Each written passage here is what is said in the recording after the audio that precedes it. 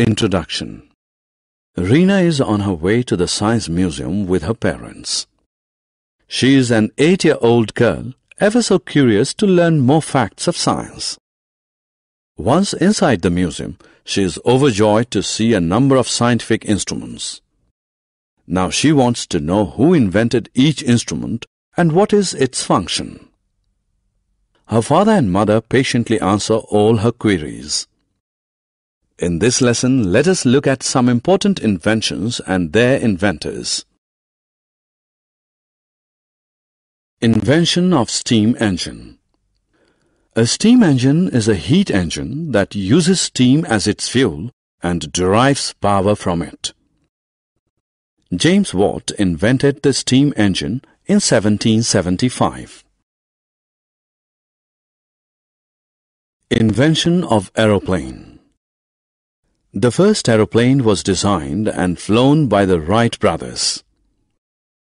Wilbur Wright and Orville Wright. On December 17, 1903, they piloted their first aeroplane 20 feet above a beach in North Carolina, USA. The flight lasted 12 seconds and covered 120 feet. Invention of printing press Printing press is a device used for printing multiple copies of a text available on a paper. It was invented by Johannes Gutenberg in 1440. Invention of electric bulb Electric bulb that gives us light is considered a revolutionary invention. It has made working in the dark convenient.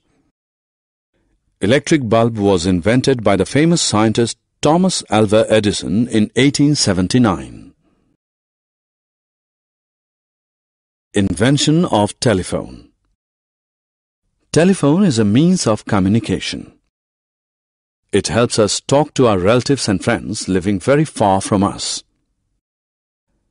Telephone was invented by Graham Bell in 1876. Invention of dynamo Dynamo is an electric generator that produces direct current.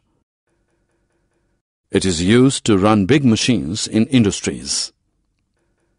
Dynamo was invented by Michael Faraday in 1831. Summary Let us summarize what we have learned. Steam engine was invented by James Watt in 1775. The first aeroplane was designed and flown by the Wright brothers in 1903. Printing press was invented by Johannes Gutenberg in 1440.